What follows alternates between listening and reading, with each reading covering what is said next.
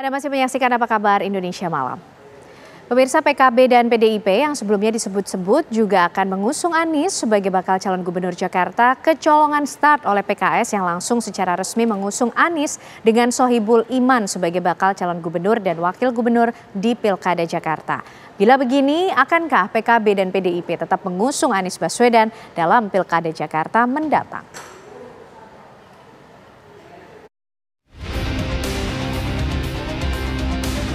Partai Keadilan Sejahtera atau PKS menggocek banyak pihak.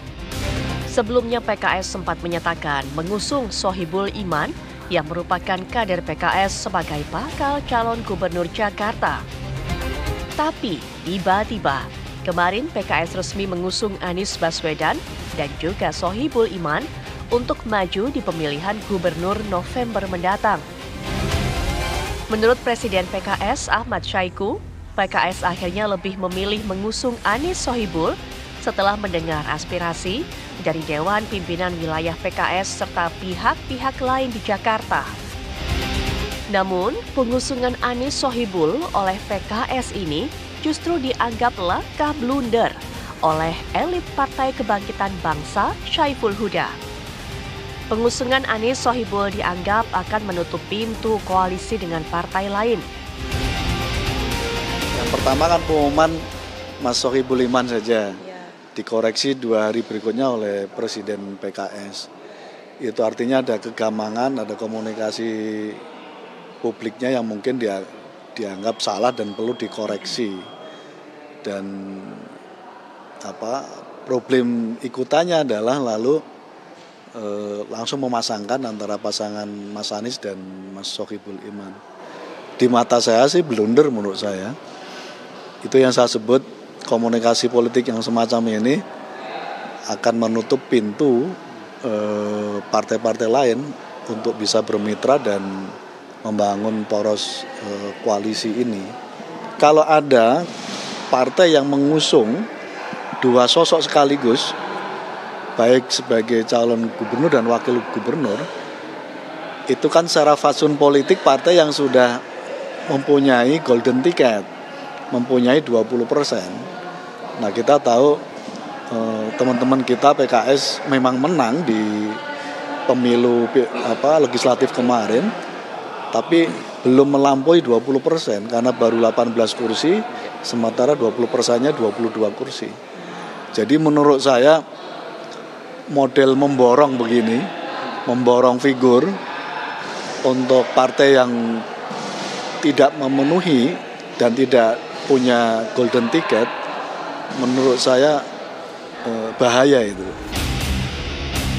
Tak jauh berbeda, politikus PDIP Eriko Sotarduga juga mengingatkan tidak ada satupun partai politik yang bisa mengusung sendiri calonnya di Pilgub Jakarta, baik itu PKS ataupun PDIP.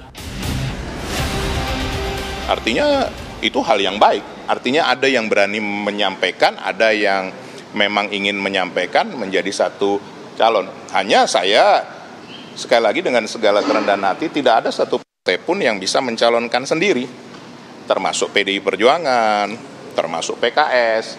Nah, tinggal bagaimana memenuhi minimum 22 kursi kalau saya tidak salah ya. Kalau PDI Perjuangan 15 perlu 7 kursi lagi. Kalau PKS kalau saya tidak salah 18 masih perlu 4 kursi lagi. Nah, ini siapa? Apakah teman-teman media bisa menyampaikan, oh satu partai lagi ini pasti kan belum tentu kan? Karena belum ada yang namanya keputusan final. Dan ini masih cukup lama, eh, teman-teman media masih nanti bulan Agustus. Kebetulan di Des Pilkada DPP sendiri, itu masih ada dua nama yang terus kami simulasikan. Ada Mas Anies, ada Mbak Ida Fauzia, eh, menaker sekarang. Yang kebetulan lolos juga dari Dapil DKI Jakarta. Jadi memang kami memang masih dalam proses itu. Irisan uh, voters pemilih uh, Mas Anies itu sama plek ketiplek istilahnya dengan uh, pemilih PKS itu aja itu Justru artinya potensi kalah begitu bang kalau misal tidak memperluas pemilih lah. Uh, poin pentingnya uh, tidak memperluas basis pemilih. Hmm tidak memperluas konsolidasi pemenangan. Tapi PKB lebih tertarik kalau sosok wakilnya itu sosok yang moderat secara posisioning politik gitu. Kami belum pasti mendukung Mas Anies, jadi kita tunggu aja. Seperti halnya PKS yang mengusung kadernya dalam Pilkada Jakarta, PKB dan PDIP juga tak mau kalah. Juga ingin memajukan kandidat bakal calon gubernur dan wakil gubernur dari partainya sendiri. Ya tentu kami melihat ini sesuatu hal yang menarik, tetapi bagi kami, kami kan konsisten bahwa kami menginginkan kader kami maju, eh, kader kami untuk dimajukan siapa pun. Apakah nanti menjadi calon eh, gubernur ataukah menjadi calon wakil gubernur tidak masalah, itu ibu ketua umum nanti yang akan memutuskan.